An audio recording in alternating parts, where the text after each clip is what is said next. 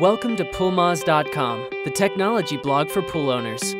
The swimming pool is the focal point of a backyard, so it's important to swim in a pool free of contaminants and pathogens. If you swim in water that is contaminated, you're susceptible to swimming pool rash or swimmer's itch. If chemical disinfectants break down, your water is exposed to Pseudomonas bacteria. After exposure, a rash will occur on swimmers 12 to 48 hours after swimming in contaminated water.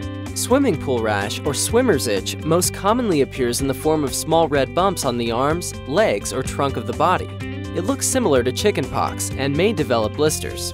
Fortunately, swimmer's itch usually disappears on its own, but if the bumps become infected, see a doctor. During a swimmer's itch outbreak, it's advised to use oatmeal or menthol cream to help ease symptoms. You can also add baking soda to your bathwater.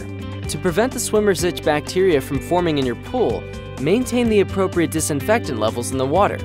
Chlorine is commonly used to kill pathogens. If you suspect your pool has been exposed to swimmer's itch, your water will look cloudy or dull in appearance. To treat cloudy water that may contain swimmer's itch, shock the pool. Retest the water after the shock has had time to settle to ensure it's safe for swimmers. There are pathogens that have developed a resistance to chlorine.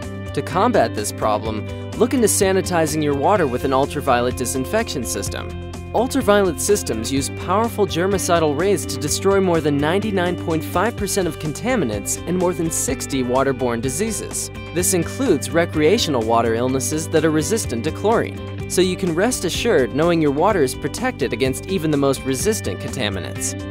Visit SpectraLightUV.com for more information. Visit Poolmoz.com for the top 5 products for a low chemical and energy efficient pool.